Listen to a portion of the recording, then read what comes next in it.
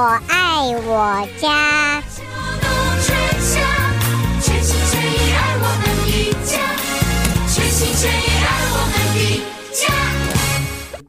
朋友们，大家好，欢迎收听在今天我们的《我爱我家》，我是胡美健，为朋友们邀请的是长业冷暖气张师傅到我们的现场。呃，和张师傅因为这个疫情的关系，我们也好一阵子没见面了。张师傅每年这个夏天呢，说实话，夏天冬天都是忙。啊，难得在今年夏天，我们有机会在百忙之中啊，跟张师傅能够现场见面，很不容易啊。呃，欢迎张师傅，欢迎参加，开心啊看到你。谢谢主持人给我这个机会，哪里？非常感谢。我们还有听众朋友说啊，呃，这个。呃，这么忙啊，张师傅可以到现场。我说是的，货真价实，张师傅在我们现场，多年不见，没什么改变，还是一样，还是一样啊。我想我们今天啊，要和张师傅来讨论的，就是当然是关于，不论是店里边啊，或者是我们的房子、居家啊、家庭里边的空调、冷气的问题。在今年夏天，我们的温度异常的高。而且都是三位数字，Heat Index 达到了一百零八、一百一十度，所以冷气方面的要求啊就非常的大，有一点点的问题。大伙就会很担心了，我这一点问题会扩大到什么样子？我要等多久才能够得到师傅们、专家们的这个处理？所以在今天，我想第一个就先请张师傅把一些基本的。最基本的 homeowners 或者是店主们，能够预防避免你的问题发生，甚至于已经有些小问题还可以 delay 一下，等到师傅 能够排班排到 take a down number stay in the line，轮到你啊！所以这些基本的一些 tips，我们先请张师傅告诉大家。嗯，好，因为我们都知道，在过去的三个三周之内啊，嗯温度外外界的温度是很高的，都在一百度多一点，一百零八呀，一百一。其实这样的话，温度外外面的温度很高的话，就对冷气就很大的压力了。呃，很多客户给我讲，是不是上班的时候把温度调的高一点，然后回来再再哎，对呀、我我我们都觉得这样子叫做节约用电是一回事，节省金钱是 因为外界温度很高，我建议在上班的时候温度稍微调高一点儿，或者一度到两度就可以了。太哦高的话，当你下班回来的时候，特别是呃下午的时候，十二点以后到嗯五点之间是最、呃温度很高的时候，嗯这样屋里的温度冷气从很高的温度往下降的时候是很难降的。OK，哎、所以说我不太建议上班的时候，有的甚至把它关掉。哦，那不行，会着火的呀。呃，呃 着火我没见过，但是不太建议，只是高出来一度两度就可以了。这样的话，你下当你下班的时候，呃，温度再降到你适合的调到温度的时候，就会容易降下来。OK，啊、好，还有一个就是呃，客人我们能做的就是经常换过滤网啊。呃，有的客人可能住了三四年都不知道过滤网在哪里。对这个问题啊，我倒是这个过滤网，我们的 filter 啊，我们一般来讲，我们有回风口，回风口那里就是过滤网，是是，但是还有的是在冷气那里的那个 attic 里面也 attic 里面那个大的，我问了我们的听众啊，我我我大概有听众打电话来，我随就随机问了啊，啊，六七个人里面大概不到三个知道有那么一个过滤。讲到过滤网都是回风口，没错是。但是那一个在冷气机下边的那或者里面的那个过滤网，一大半的人根本不知道有那个东西。呃，很多家没有。哦，没有。哎、有的是有，他是因为 builder 是根根据自己的那个呃，或者呃，在屋里面的很高的话，很难换它的过滤网。嗯，那通常的话，他们在建房子的时候，呃，或者装冷气的时候，在那个 attic 里面，机器后面有一个大的过滤网，OK，哎、那个呃要也要经常换的，大概六六个月或者一年之内一定要换嗯、师傅，啊。我们有一半以上的听众，一半以上的 homeowners，今天听了以后才想，回风口过过滤网每三个月都换，什么时候又来一个机器里边还有过滤网？有谁知道啊？呃，我知道。您知道，我们都不知道，不知道。所以说，有的客户他们家没有，但是，呃，如果没有的话，要经常换屋里面，大概三个月要换一次。如果有的话，也到 EDIC 里面检查一下，嗯是不是好几年都没换了。有，哎，因因为有的过滤网因为这个情况结冰，很多客户甚至都把那个说是呃漏冷媒啊，或者把机器嗯换掉了，但是问题还没解决，就是没注意那个过滤网。过滤网。啊，对，OK，这个是属于在机器，在这一个大机器的过呃滤网，而不是我们回风口的滤网。呃，如果回风口有的话，建议只用一边有过滤网就可以了，不要太多的。什么意思？呃，假设有的房子是呃屋里面也在也也也换了过滤网啊哈，，EDIC 里面有个大的，它也在换，嗯哼，但是建议只用一边就可以了，或者那边不要换，那边不要用过滤网，就空到那里。哦，就是不要有大机器里面也有过滤网，回风口也有过滤网。呃对，不太建议，但是用了也没关系，最主要是什么原因呢？最主要是回风快一点。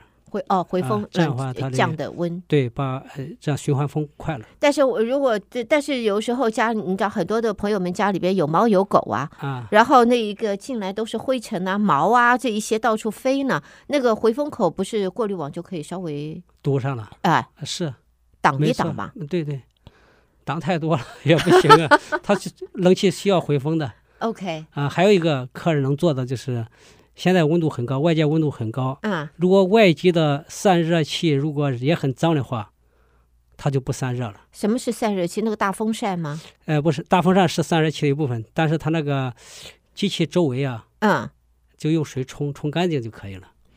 外机外机的，外边这个大风扇的机器的这风扇的周围，哎我们用水去冲。机器上面不是周机器周围是，当然如果是草，那嗯，个很干净的话也挺好的。把机器上面上面盖子上头啊，呃不是盖子，机机身的周围四周，可是它都在一个大铁盒子网子里头啊。对它顺着网子可以把水可以，我就哎对着那里冲哎对，就是了。有点压力的话可以慢慢把它冲掉的。这样的话这是你们可以做的。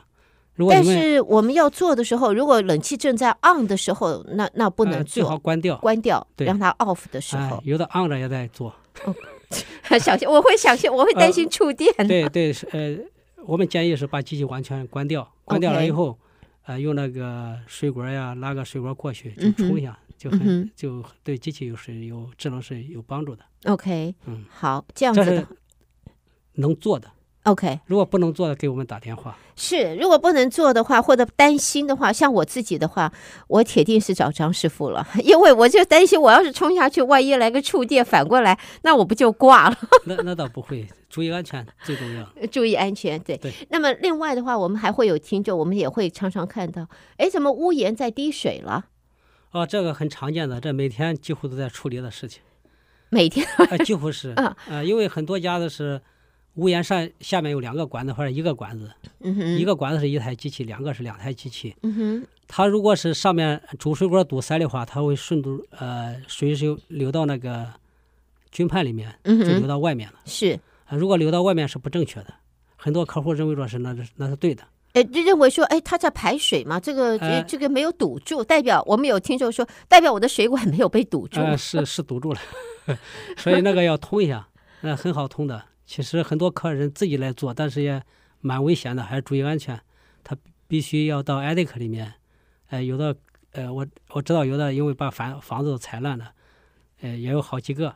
所以如果自己能做的话，做最好，或者是呃让专业的人、经常做的人去做，或者是可以在他通常是那个主水管通到那个脸盆洗脸盆下面。嗯，卫生间里面，哦哦，OK，那里面有嗯个黑管和那个下水管连接的地方，有的人可以把那打开，慢慢通通通的也可以。那需要动手能力稍微强一点的，哎，我我动手能力强一点，不过如果是在 attic 里边的话，这种天气、这种温度，那那个是会要命的温度嘞。那我们那好几条命，天天在高楼里面。呃，所以我还是觉得啊，homeowners 啊，我们的听众朋友，这个呃，自己的如果是换换滤网方面，我相信自己可以清，像刚才张师傅讲的，清这个大风扇啊，把它关掉了以后，用水清，用这个 pressure 有点有点压力的啊去清，这也是我们应该可以自己做的。但是呢。其他方面，如果你的想要 DIY，但是对自己的技术没有那么样子的有把握，我建议还是请专业人员来做。那么，呃，一般来讲，我们都会要建议大家检查冷媒，多久的冷气我们会需要检查冷媒？还是说我这个冷气才换了个五年，我应该来讲还叫做 brand new，虽然不是 brand brand brand new，不过还是 pretty new，所以我应该不会有冷媒呃的问题，我就不用检查了。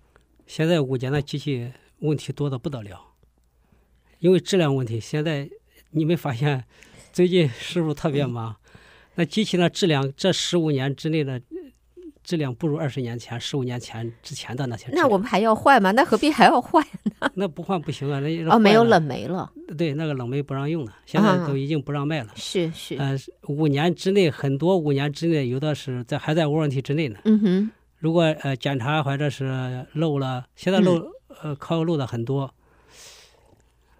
呃有的时候在 builder 在盖房子的时候，我们都进去开始修机器了，也就两年之内的机器，很多、啊很多，说是所以说在五年之内呃检查一下是最好的，因为你可以呃在 warranty 之内可以拿到 warranty。是。嗯，呃，那么通常我们如果冷媒不足或者漏冷媒，我们冷气还是会 work 啊，冷气没有不 work 啊，它一样在 on 啊，它一样会降温。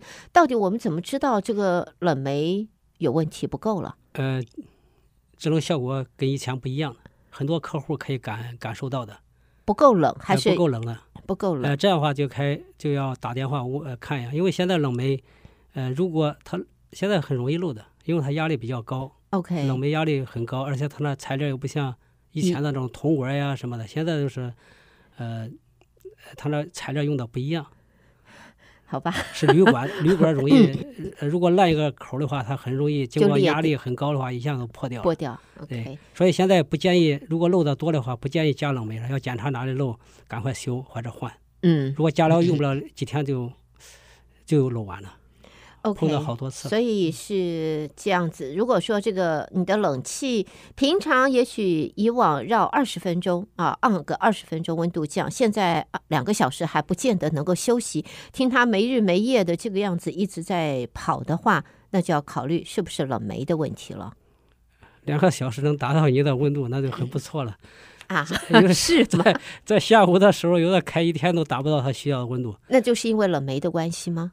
它呃，有的时候是，也不全是，有的时候还因为房子呢，旧的房子呢本身这个房子的保温也不是特别呃不是特别好热不行隔。热。对，像现在新的房子隔热比较好一点。呃，嗯哼，很大的房子用一台机器，它保温能呃隔热各方面都做的比较好。嗯哼，旧的房子可能是哪里都漏气，嗯，所以尤其是天花板 attic 里面的那个海绵不够。嗯，窗户啊、门呐、嗯什么的哼，这个都是很重要的。好，朋友们，我们现场是七一三九八四零四二四七一三九八四零四二四。如果你有任何相关的家里边或者是公司啊，这个店里边冷气方面空调的问题，欢迎您现在就可以电话进来和张师傅一块儿的讨论。您直接打七一三九八四。呃，零四二四，好，那么下边的话，呃，好，张师傅，我们刚讲完电话就进来了，请接听啊！我们就来看看这位听众。哎，你好，德州中文台我请教一个问题哈，啊，我的那个冷气现在是 OK，我那个是新的房子，我的冷气调温度调到一般来讲我是调到七十七度，那我们发现有几个情况，一个一次就是 来了来了客人，那 before 来客人之前我把它调到七十五度，温度有下来没有错。可是当客人来的多的时候，比如说大概提来个十几个的人的时候，他那个温度就是不是，我就又把它打到七十度，我把温度调到七十度，那它不往下降，它反而往上升，这是冷气的问题，还是还是说它本身设计的问题 好，我高朋满？OK，座，我我来这么讲，我们把它做到七十度的时候，嗯那是不是我原先七七十五度的时候，它室温是七十五度，没有错。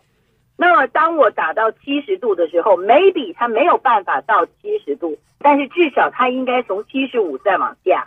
但是它是从七十五到了七十七，OK，所以我的问题就是说，那它这是冷气的问题，还是它本身房子设计的问题？好好的好，呃那这样子麻烦这位朋友，麻烦你电话先挂掉，我请张师傅分析回答，好不好？OK，好，谢谢。哪里？谢谢你。好，来张师傅，哎，好，这个问题是其实很多，呃，有的客人也打电话问同样的问题，呃，他那房子和冷气设计的都没问题，以我的经验是这样的，嗯，因为你开 party 人很多，人本身自身的的对热量也很多的，嗯哼，十几个人以上的话，如果再再炒啊、烹炸呀、什么的，这屋里温度就很高的，很难往下降的，这是很正常的。但是它还会往上升呢。对呀，因为它的冷气如果呃，我不知道他说的是几台机器，如果是楼上也有、楼下也有的话，呃，这样的话两个台同时开，如果是一台的话，人这么多，呃，这是蛮正常的。如果冷气有问题的话，或者是房子本身有问题的话，它的冷气会降不到它呃七十五度它需要的温度。OK，啊但是他这位听众就说，如果我现在客人还没来以前，我知道今天我有一个大的 party，那么我先把温度已经降到了七十五度，整个室内都是七十五度，对然后客人开始进来，朋友进来了以后，温我冷气还是继续的 on，但是呢温度就往往上升上升了，很正常的，这个是正常的。正常的，因为人也多。再说人来的时候要开门吧，呃那么进进开来开进进出出很很频繁的话，或者在在呃炒菜呀、或者是开 party 吧，嗯必肯定要要少不了这些开火呀什么的，所以这个温度是很正常的。如果不正常的话，你可能窜到八十多度了。哦哎哦，所以这个人多嘛，开 party 温度上去人多，这是很正常的。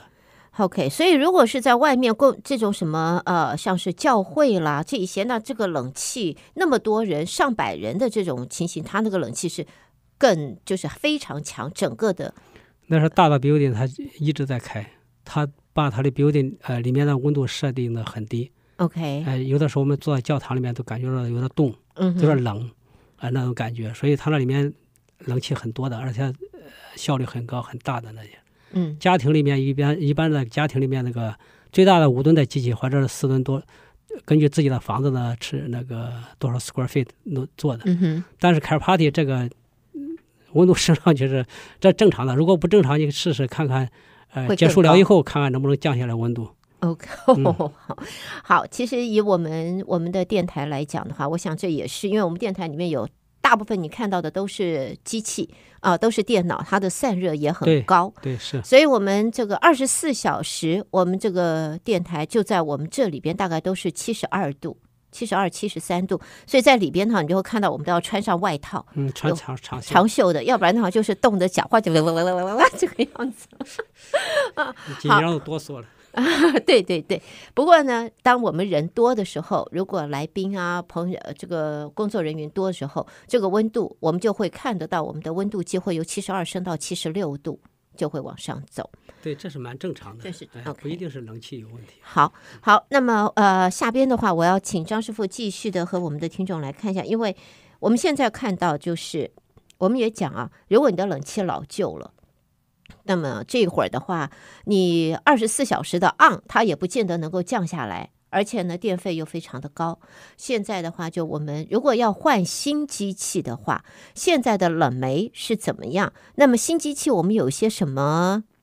有没有什么选择？还是没什么选择，就是这个样子？还是冷媒？人家说你我们现在的新冷媒大概两三年就不行了，又要换另外一个了。那意思就是说，五年前换的新冷媒的机器，再加个三年、八年之后，或者十年之后，它又不能用，它又得要换新的机器了吗？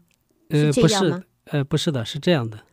如果是、呃呃，对不起啊，我们又有听众在电话上，我想这样，张师傅，我们接完这位听众的电话一并回答，好吗？可以可以。啊，好，来，这位听众你好，哎，你好，哎，空明姐你好，哎，张师傅你好，呃，我有一个问题哈，我二楼那个空调开开以后，就是从那个开关的电源开关的灯的开关里边，也感觉到呲呲呲的好像往里那个进气的感觉，啊，你你您再讲一次，没懂哎。就是。说空调开了以后啊，嗯，它不是空调要通过那个 filter 那个地方进进气吗？呃，对，进气口是，嗯，可是呢，就是感到感觉到从那个嗯电就是那个灯的开关那个那个那个那不是灯的开关不是有一个口吗？不是有一个哦，你 opening 吗？就说墙壁上那个开关，墙壁上的开关，对了，从那个地方也呲呲呲的往里进气的感觉，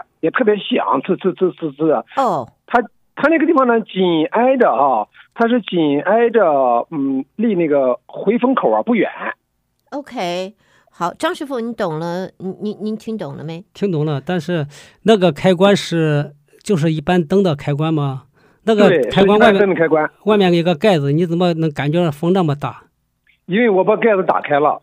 那打开可能是那些风是到到阁楼里 attic 里面。你假设说你不开冷气的时候，你有没有感觉也有风进去？没有，没有啊，那得要上哦去看，那个跟那不是一路的呀。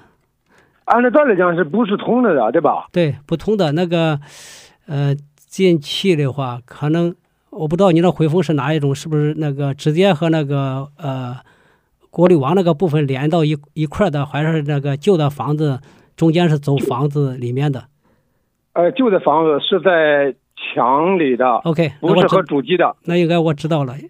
很多旧的房子，它那个回风，年的。对它那个回风是在墙壁里面走的，它里面是空的，所以你房子里哪里漏气的话，它要经呃和那个墙壁连着的话，它都会有风吸吸进去的。哦，也就是说，这个回风的这个管道和那个呃装电源开关这个地方是连着的，现在是通呃了。因为你你刚才说你那个开关是和回风在一块儿的，几乎是离得很近。不不远，对，不远在同一个墙壁上。如果在同一个墙一面墙的时候，它那个老的旧的房子，它那个回风没有一个，好像现在新的房子，一个呃机从那个呃机器直接回风到那个进风那个地方是一个管道的。那旧的哦房子如果没管道，是整个靠那个墙壁里面的空气空间来回风的，那样的话是是正常的。哦，这样对空调没有什么影响吧？呃，没有，都是你房子里那个温度。都在房子里头，没跑到外头去。都是都是内循环。是没错，是内循环。对，好嘞，好，谢谢谢谢谢谢您。啊，不行，嗯，好嗯好谢谢这位听众。哎，我们的时间还剩下两分钟啊，所以张师傅啊，我们的新冷气还有一些时间，麻烦你分析一下吧。就是要换冷气，有些什么选择？冷媒不是说呃才换的，以后再两三年又要换了？对，呃，据说是到二零二五年哎，不过就两年、三年嘛。三年，呃，所以要那个时候要全部换。但是他换的时候，他有其他可能新的要代替的。哎，美国做事不是像说咔嚓都断掉，不是嗯的，它会有个缓冲期，很长时间。好像二十二冷媒呃在不让用的时候，这十年当中要把它弄掉的话，嗯这十年当中一直会有的，要不然他会呃很多客户会呃会抱怨的。还有新的机器选择不多，因为最近从去年开始到现在，没到这个时候就没有机器了。所以朋友们，为什么我一大早，他妈几个月前就呼吁大家赶快该换要换，不要拖，不要等。你看看现在等就是等到这样子了，而而且更可怜的时候，有的客户的 warranty 都拿不出来，嗯，warranty 都拿不出来，有 warranty 但是没材料，没有呃没有材料，没有 parts，没有 parts，没货，哦，所以说就算你是 under warranty，你需要更换，它也没有这个东西来帮你，他也，给你，但是要等。也要等。嗯哇。有的客户受不了就再买一个呃其他小的配件装上，还暂时代替啊。哎，现在来讲，如果出了问题，我买窗型冷气临时补一补，可以吗？我不知道，如果能补可以的话也可以。呃，窗户有，呃，放到窗户那里，然后在主卧室可以用的，啊、那也挺好的，暂时暂时暂时临时的，对这就是说就小小区域、小房间嗯这样子可以对。是。所以朋友们，那么现在如果说听众，我们真的听众听了以后觉得长痛不如短痛，我还是要换个冷气，那您的建议是怎样？如果在呃旧机器没坏的话，不要换。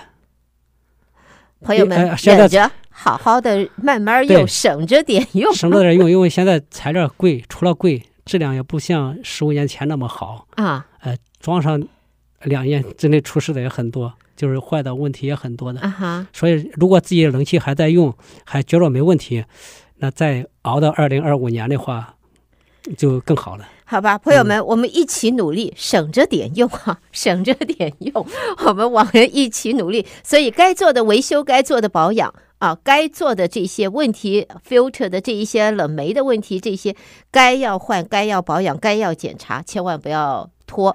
呃，张师傅的电话八三二二七九八八零一八三二二七九八八零一。所以，朋友们。